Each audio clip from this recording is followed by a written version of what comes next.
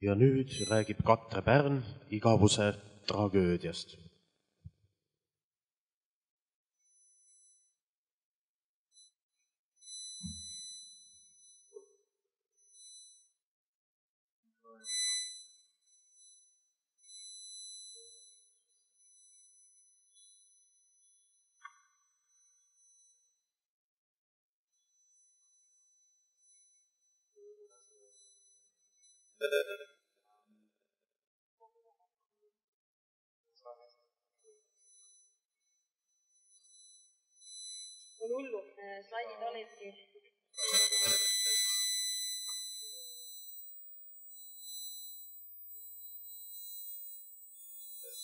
Tegelikult äh, slaidid olidki selleks, et äh, teie meelt lahutada ja äh,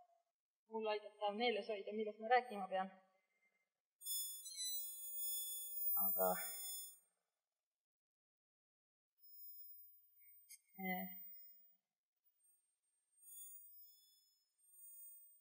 sisuliselt äh, väga millestki puudu ei jää. Äh, äh, minu see teema, millest ma tahtsin rääkida, ma ei tea, kus ma pean uh,, kõlab palju huvitavamalt. teema, millest ma tahtsin rääkida, haakub tegelikult küllaltki palju eelkõneleja probleemipüstitusega. ma hetkeks isegi arvasin, et ta räägib kõik ära ja ma ei peagi väga midagi mm, juurde lisama, aga natukene väikesed erinevused meil on. ehk siis igavuse tragöödia. tahtsin alustada siis ühe Alberto Moravia romaani eh, avasõnadega. Eh, alguses oli igavus. Eh, romaani nimi ongi Igavus. ja selle romaani peategelane tahab kirjutada üldist ajalugu igavuse kaudu või igavuse vaatepunktist. sest alguses oli igavus ehk teisisõnu kaos seepeale eh, lõi Jumal maa, taeva, vee, loomad, taimed, eh, Aadama ja Eeva. Eh, Aadamal ja Eeval hakkas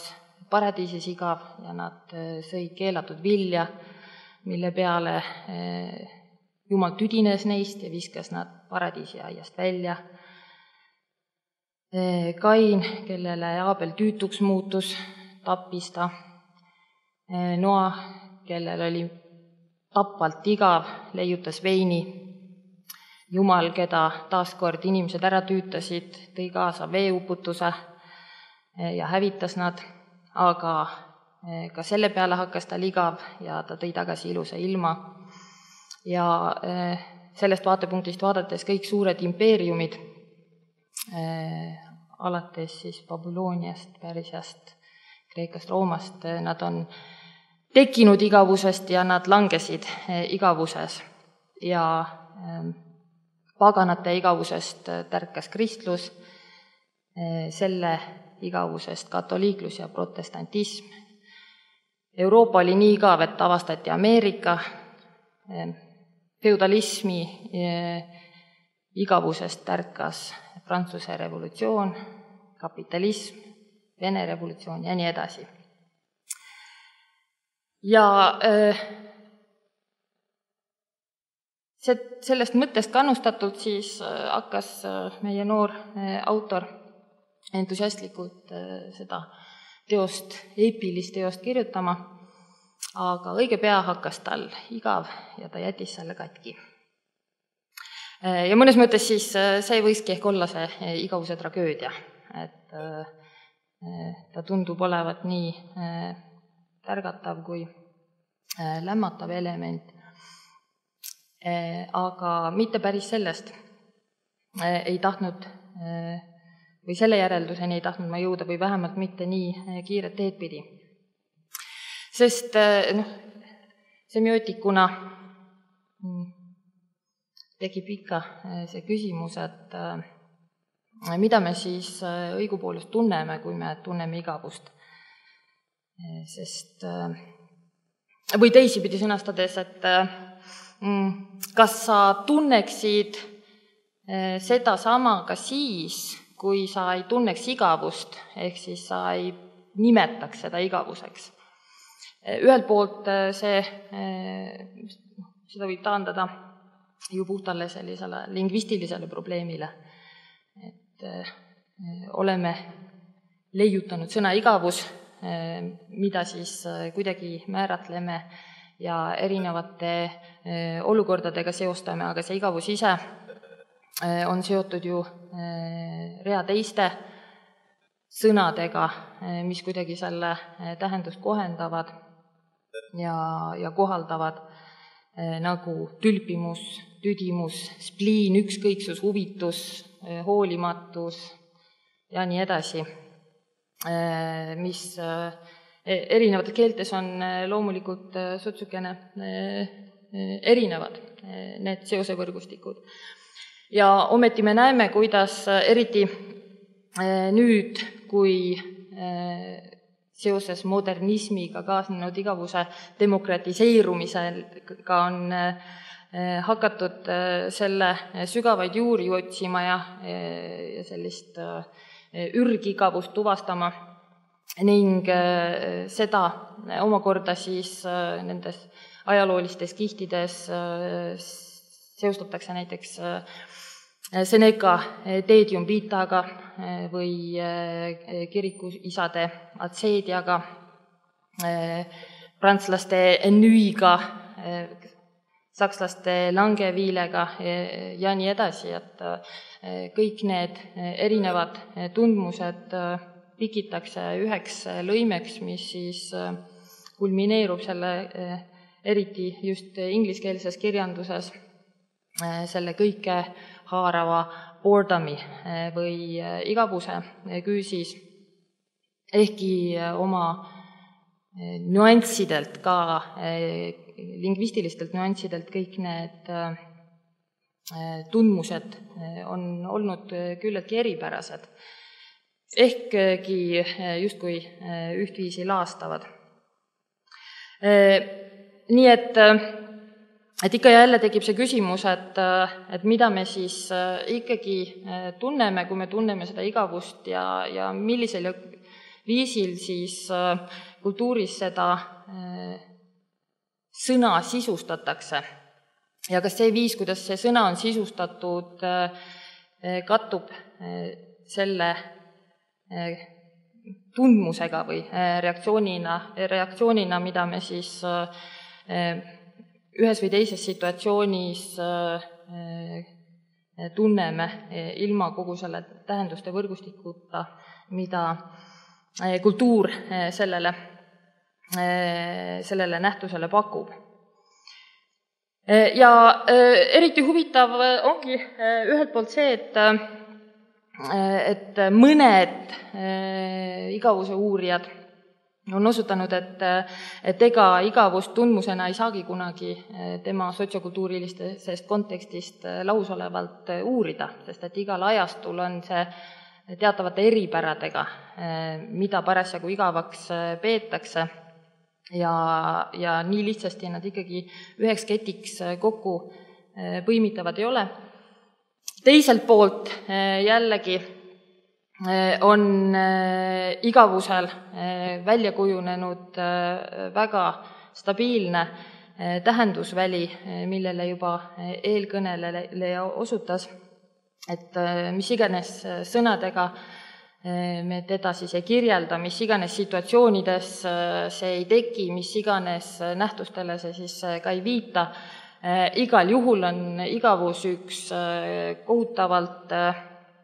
Eh, halb ja ebameeldiv eh, asi. Eh, igavus tapab, meil on vaja kogu aeg selle probleemiga tegeleda, ravi leida sellega, lahendusi otsida selle, sellele ning igavus on põhjust, põhjuseks paljudele ühiskondlikele ja personaalsetele probleemidele, düsfunktsionaalsele käitu-, käitumisele. mitte lihtsalt vanglas ei ole igav, vaid vanglasse satutakse igavusest. Ja sellest vaatepunktist võib hoopiski äh, näha vanglas äh, sellist raviasutust, mis treenib inimesi igavusega toime tulema, millega nad väljaspool vanglat ei suutnud. meenub üks, üks situatsioon elust, kui harjutasin pargis ühte ekstreemsporti ja minu juurde tuli üks narkodiiler vestlema kui põnevuse armastaja, põnevuse armastajaga mina ei ole tegelikult üldse põnevuse armastaja, eh, aga eh, tema rääkis sellest, kuidas, kuidas ta politseiga kassi ja hiire mängu mängib, sest et see on jube põnev ja ta väga tahab seda põnevust. nii et selle, sellise tänase psühholoogia käsitluse järgi on ta igavusele Eh, kalduv eh, inimene, kes eh, otsib siis tegevusi, millega igavust peletada, mis varem või hiljem viivad ta siis antisotsiaalsete käitumiste ja, ja muu sotsiaalse allakäiguni. või need, kes ei ole põnevusega, kellel ei ole põnevusega probleeme,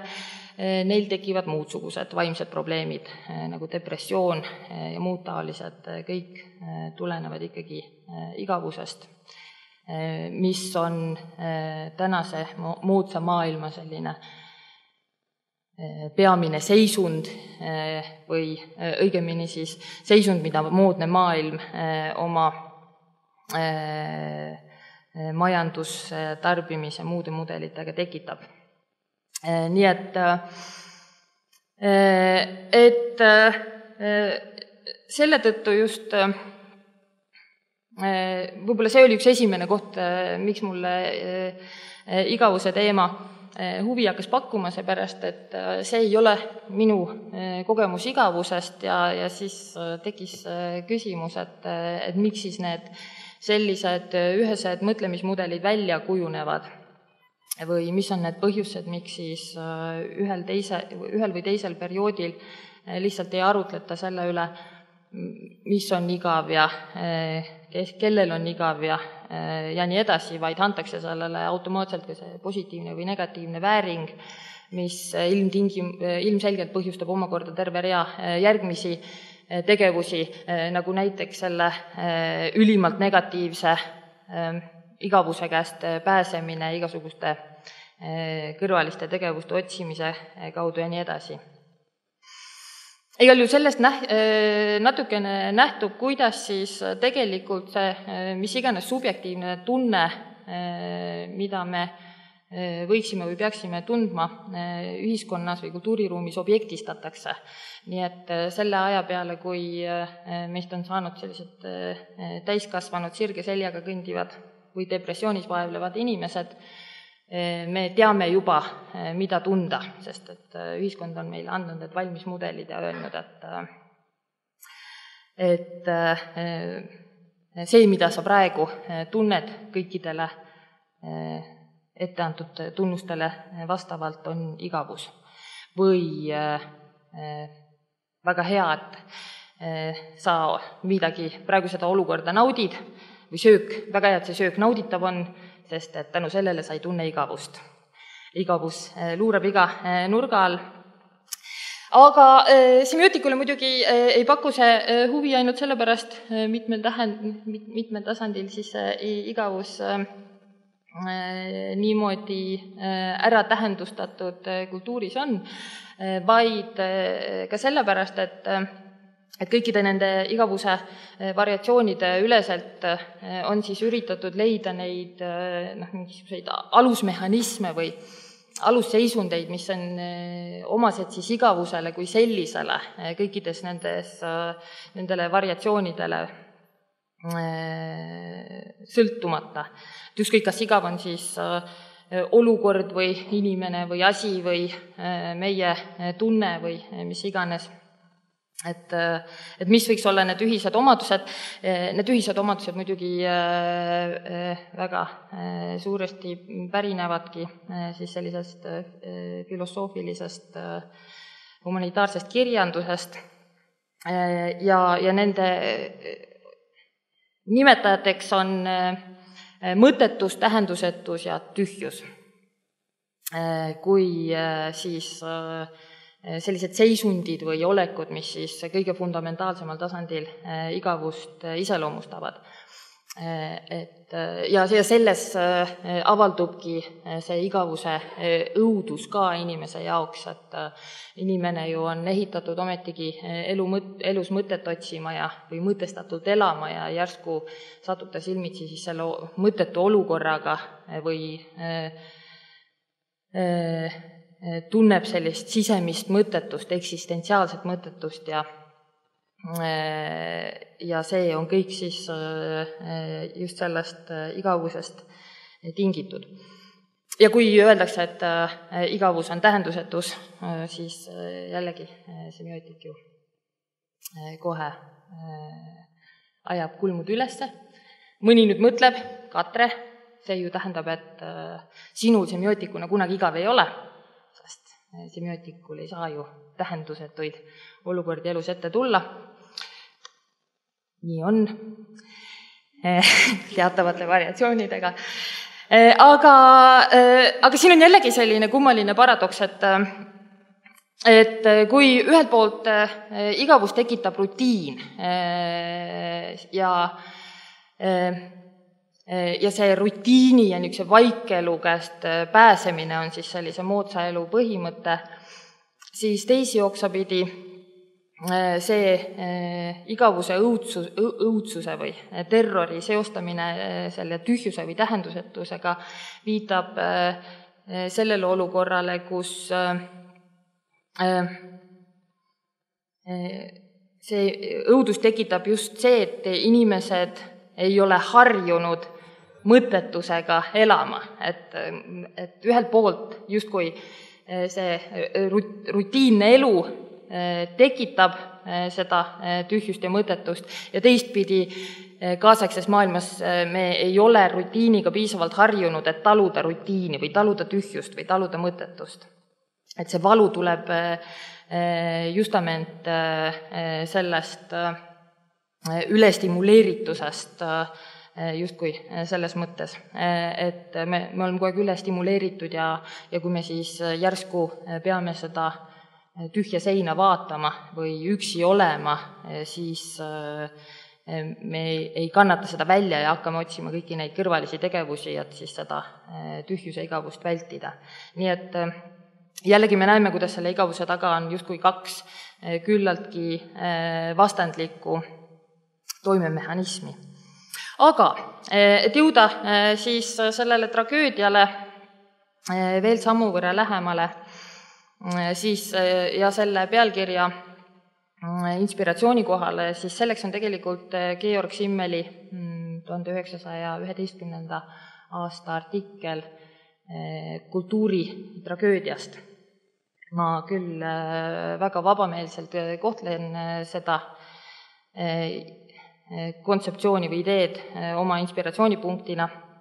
aga põhimõtteliselt Simmel räägib siis sellest, et Äh, äh, inimese või elu üldse, aga inimese kui elusolendi ja kui hingestatud olendi eesmärgiks on siis sisemiselt täiustuda ja, ja areneda, saada nii-öelda enese paremaks versiooniks, aga selleks ei ole ta või noh, saada kultuurseks. aga kultuurseks ei saa inimene saada sugugi mitte isoleeritult või enesekeskis, vaid selleks, et kultuurseks saada, on vaja seda ümbritsevat kultuuri, mille najal ja toel siis edeneda. ja, ja see niisugune tsükkel saab tekkida läbi selle, et inimene, kes siis on, kellel on see vajadus väljenduda ja mõtestada ja areneda ja kasvada, see loob erinevaid teoseid, artefakte, institutsioone ja nii edasi, selliseid kultuurilisi nähtuseid, ehk siis välju, väljutab oma hinge enesest ja loob selle objektiivse kultuuri enese ümber, mida siis järgmisel hetkel inimene, järgmine inimene saab endasse internaliseerida ja kasutada iseenda kasvatamiseks ja arendamiseks. Ja ja selle käigus siis toimub ka see paradoks, et, et kui, kui see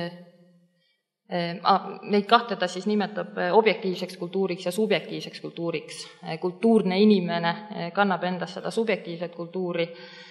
ja pidevalt siis on kontaktis selle välise objektiivse kultuuriga. ja, ja see sit-, huvitav situatsioon tema jaoks on just see, et et sel ajal, kui inimene siis tegelikult oma hingega loob selle välise kultuuri, siis niipea, kui ta selle endast väljapoole eh, lükkab, eh, siis see mm, eh, kultuur või need objektid hakkavad elama natukene enda elu ja autonoomset elu, mis ilmtingimata ei käi enam selle inimesega ühte jalga. Ja selles situatsioonis, kus siis kultuur jaguneb selleks kaheks pooluseks, millel on võime teatavaks autonoomsuseks ja iseette arenguks, tekib siis see võimalus, et sellise mõnusa sünergia asemel, mis siis on kultuuri toimimise aluseks ja inimeste järk-järgulise kultuurseks muutumise ja paremate kultuuriobjektide loomise aluseks, tegivad sellised kaks äärmust, kus inimesed hakkavad siis solipsistlikult edendama iseennast ilma selle välise kultuuri abita, mida tema siis nimetab sellise enese nii-öelda moraalseks täi-, täiustumiseks või mille tulemuseks on pühak ja teisel pool võib hakata see objektiivne kultuur iseenda loogika järgi arenema või inimesed võivad hakata huvi tundma puhtalt nende asjade vastu ja selle tulemuseks on spetsialist, kes siis küllaltki hästi samamoodi vastas siin mõne eelneva ettekande kirjeldusele, et kes on siis see inimene, kellel on spetsiifiline huvi siis selliste asjade vastu, mille vastu normaalsel inimesel enamasti huvi ei ole. ja see spetsiifiline huvi ei tule siis sellisest üldisest inimlikkusest ja üldisest sellisest elutervest kultuurist, vaid väga spetsiifilisest huvist kultuuriobjektide kui eneseküllaste objektide vastu. Ning neid mõlemaid trajektoore ilma selle välise kultuuriga dialoogi kaudu kasvava ja areneva inimese või pühaku versiooni ning siis seda spetsialisti versiooni peab Simmel probleemseks. sest et no sellisel juhul ei arene ei inimene, ei saa inimene iseenda paremaks versiooniks läbi kultuuri ega kultuur iseenda paremaks versiooniks läbi siis nende kultuursete inimeste seda olukorda on võimalik igavusega siis, siis siduda väga erinevatel viisidel. üheks on see olukord, kus, kus me näemegi, et see objektiivne kultuur, mis on hakanud siis oma elu elama, loob oma reegleid, tehnikaid ja süsteeme siis iseenda vajadustest lähtuvalt, mitte siis ümbritseva kultuuriga või subjektidega dialoogis, muutubki teistele peale spetsialistide igavaks, sest et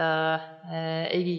nagu see moodne väljend on, ei kõneta enam neid, et nad ei, ei leia seda isikliku dialoogi võimalust, nad ei saa nende objektide kaudu justkui teada midagi ümbritseva maailma ega iseenda kohta, mis neid paremaks teeb ja selleks noh, versiooniks on väga sageli ka spetsialisti vaatepunkt, et no näiteks, et inimesed peavad lugema raamatuid, sest et raamatud on kõrged kultuuriobjektid ja ei, ei saa olla kultuurne, kui ei tarbi neid kultuuriobjekte. Simmeli arvates näiteks ei ole oluline, kas see kultuuriobjekt on kõrge või madal, peaasi, et ta aitab inimesel ennast kuidagi järgmisele nii-öelda tasandile viia. teine variant on see, et et see igavus kui selline objektistubki ja me hakkame huvi tundma selle igavuse kui see, kui sellise vastu ja looma igavaid objekte või juurdlema selle üle, et kas üks või teine kultuuriobjekt on, on igav või mis on igav ja mis ei ole igav. ja, ja nagu ma osutasin, siis ka seda ühe või teise nähtuse igavust või igavate asjade loomise niisugust reeglistikku väga sageli tegelikult äh, arendatakse äh, subjektist lahus äh, ja õpetatakse subjekti nägema millestki siis igavust. Aga ja, ja selle kaudu natukene abstraktsemal tasandil koorubki välja see niisuguse objektiivse ja subjektiivse igavuse äh, äh, traagiline dünaamika meie kultuuriruumis, kus äh, ühelt poolt inimesed tunnevad midagi ja väljendavad seda tunnet, see väljendus muutub asjaks iseeneses või probleemiks iseeneses ja teda hakatakse mõtestama hoopiski selle eh, välise kultuuri kontekstis ning eh, siis söödetakse inimesele tagasi sellise käitumisjuhisena, nagu see igavuse puhul on, et et selleks, et igavusest pääseda või noh, üldse, et igavusest on vaja pääseda ja selleks, et pääseda, on siis vaja selliseid ja selliseid Äh, kultuurseid või äh, vähem kultuurseid tegevusi, aga kiputakse äh, siis suunama inimest mingisugusesse käitumis- või tarbimisahelasse või, või situatsiooni. ning see, et, et selline igavuse käsitlus on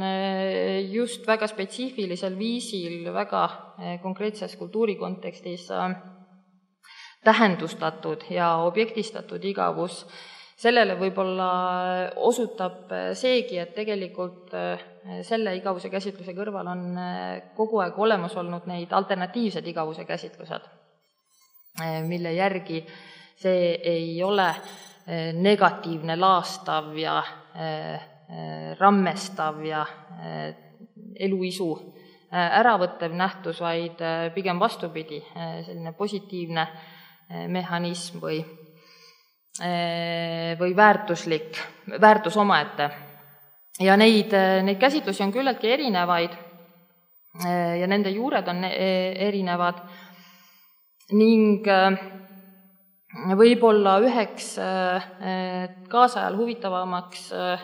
situatsiooniks, kus, kus, mille abil seda igavuse probleemi on hakatud ümber mõtestama, äh, pärineb tegelikult äh, hoopiski zen-budismist. Äh, kuna ilmselgelt, kui on olemas üks selline kultuurisüsteem, mis väärtustab tühjuse tunnetamist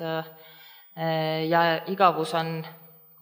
tühjus, aga kuidagi probleemsena tunnetatud, siis Eh, otsitakse selle eh, sellise zen-budistliku käsitluse järgi eh, iga või abil igavusele ravi või siis üleüldsegi täiesti teistsugust lähenemist igavuse mõtestamisele. Aga, aga kui nüüd see Simmel ja zen-budism ühte ettekandesse kokku tuua, siis nende huvitavaks Äh, selliseks äh, punktiks äh, igavuse mõtestamisel on tegelikult Heidegger, kes on igavuse huvilistele ilmselt tuntud ühe sellise filosoofina, kes ehk kõige terviklikumalt on üritanud igavust kui sellist hoomata ja, ja kes on lugenud või tema kohta või teda ennast, siis mäletavad, et tema käsitluses ongi see selline kõige sügavam ja fundamentaalsem igavus, millest tärkab filosoofia ja kõik positiivsed nähtused.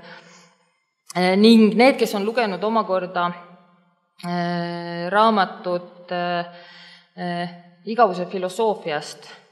Svenseni käsitluses, need võib-olla märkasid, et Svensen pole absoluutselt Heideggeriga nõus. Eh, Svensson eh, loeb Heideggeri eh, selle punktini, kus Heidegger annab igavusele positiivse nüansi ja, ja Svensson, kelle käsitluses samamoodi igavus on täielik negatiivne õudus, ei, ei nõustu enam Heideggeriga. aga minu arvates ta ei nõustu Heideggeriga mitte ainult seetõttu, et et väga suuresti äh, selle Heideggeri arit-, arutluse taustaks oli seesama äh, Simmeli äh, kultuurimudel ja need ideaalid, mis puudutavad siis seda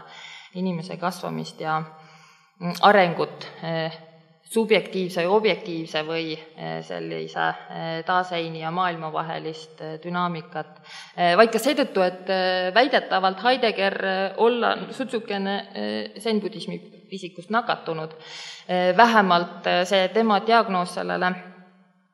fundamentaalsele igavusele kui niisugusele positiivsele jõule on väga väga hästi mõtestatav sellisest zen-budistlikust vaatepunktist. Eh, ehk siis eh, jõudes tagasi selle eh, zen-budismi ja Heideggeri ja selle fundamentaalse igavuse kui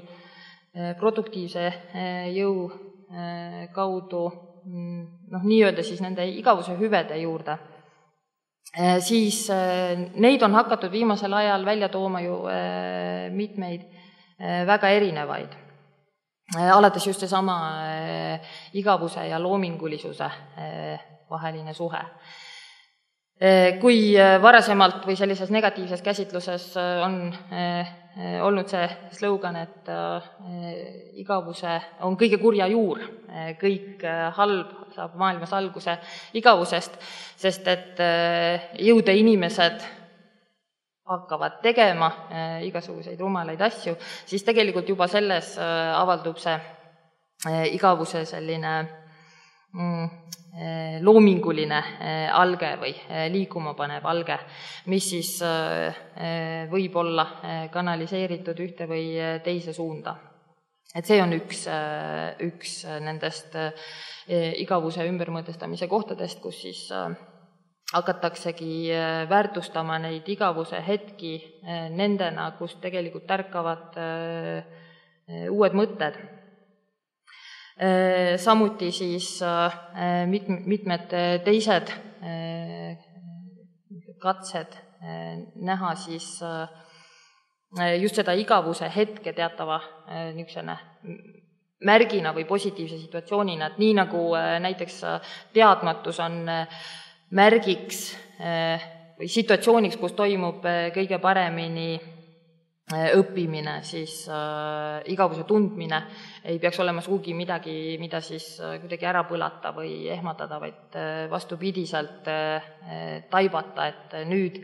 nüüd, just nüüd on äh, vaim valmis millegi noh, mõtlemise või uue algatamise jaoks aga, aga veelgi sügavamal tasandil tegelikult äh, see, äh, see põhjus, miks äh, Heidegger või siis sellised zen-budistlikud käsitlused seda igavust kui sellist fundamentaalset noh, filosoofilist või semiootilist situatsiooni väärtustasid, puudutab just seda, et et Äh, et kui traditsioonilises sellises lääne diskursuses tähenduse kadu äh, on, see on õuduse tipp, sest äh, nagu ma mainisin, see, see, et elul on mõte või me pürime mingi mõtestatuse poole, see on äh, sügavalt sisse kirjutatud äh, meie olemusse ja, ja kõik meie ümbritsevad kultuuriobjektid on mingisuguse tähendusega küllastunud ja nii edasi, siis, siis Eh, see eh, fundamentaalne igavus või mõttetuse tajumine tegelikult on teekond selle teistsuguse elufilosoofia juurde, mille järgi asjades iseeneses ei ole mingisugust mõtet. et see igavuse hetk on selles suhtes selline Äh, tõeline niisugune semiootiline silmaavaja, et, et ta aitab meil siis vabaneda nendest äh, kultuurikoodidest, mis siis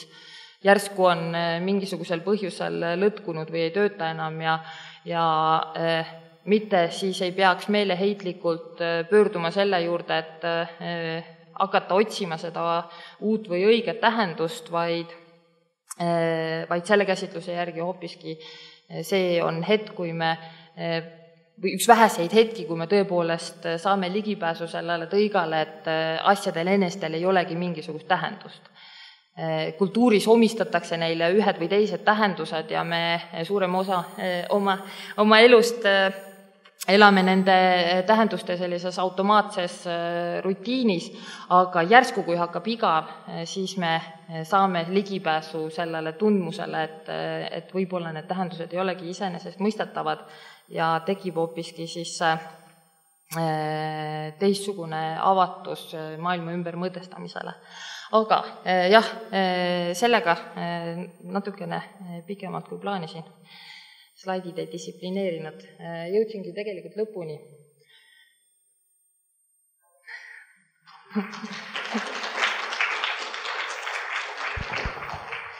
suur tänu, kas Katrele on küsimusi või kommentaare?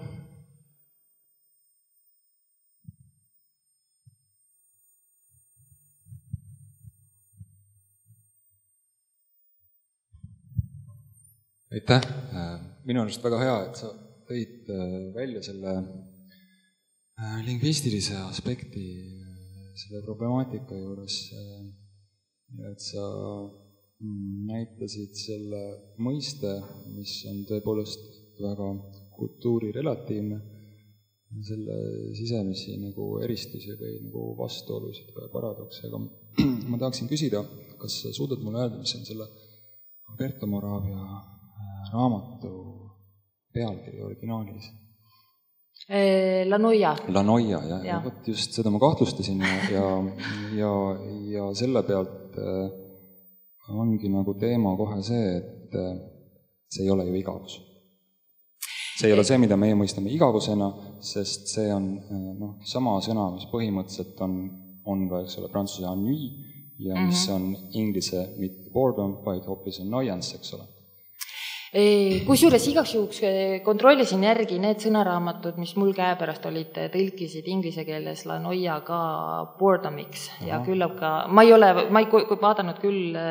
ingliskeelseid tõlkeid sellel raamatul, aga tegelikult ka esimesed katsed kogu seda raamatut eesti keelde panna näitasid, et juba, et tegelikult see igavuse mõiste ei olnud mm -hmm. see igal sammul, mis eesti keeles kasutatav oleks mm -hmm. selle jaoks, nii et vot ma, ma siis nagu selle teadmise pealt nüüd äh, lubaksin endale niisuguse äh, pisikese eristuse võib-olla, et kui see mitte tõlkida, eks ole, igavuseks, vaid mm. tüütuseks, selle noia, eks ole, et siis, äh, siis võib-olla noh, lisaks kõigile neile eel juba mitmeski ettekandes kõla, kõlanud eristustele selline lihtne asi, et et kui on torkiv igavus, ja siis on äh, noh, torkiv iga, igavus, mida siis mm. võiks nimetada ka tüütuseks, eks ole. ja siis on äh, täiesti teisipidine äh,, mis on siis äh, väljakannatamatu olukord selle tõttu, et miski ei torgi, eks ole. et see oleks siis nagu see äh, noh, igavus äh, selles tähenduses, selles nii-öelda noh, õilistavas tähenduses või, või selles tähenduses, millest minu arvates täna on põhiliselt juttu olnud sellest. et noh, siin sellest aspektist nad on täiesti vastandlikud, eks ole. aga jah, idee poolest ma olen sinuga nõus, et mulle endale väga sageli tegelikult toimibki paremini igavuse asemel ka eesti keeles tüdimus, kuigi me väga sageli räägime nendest situatsioonidest kui igavatest aga, aga mulle tundub, et selles mõttes seda eh, nihet ei ole ikkagi meie kultuuriruumis nii lihtne teha, et igavus ise on endiselt eh, sellise negatiivse taagaga. et isegi eh, seda ettekannet ette valmistades siin-seal oma järelduste tegemises jooksin ma vastu seda seina, et, et kas see positiivne tähendab siis ikkagi igavuse ületamist ja midagi muud või, või on meil ikkagi võimalus siis äh, igavus kui selline äh, selle sõnana, millega me praegu opereerime, positiivseks muuta või vähemalt neutraalseks, et sest et ka eesti keeles tegelikult meil on tapvalt igav kogu aeg ja, ja noh, kõik need igavusega seotud fraasid on vist on nagu ka konflikt õhtumaiste ja hommikumaiste praktikate mm. vahel võib-olla, eks, nagu see ka välja aitäh. veel küsimusi?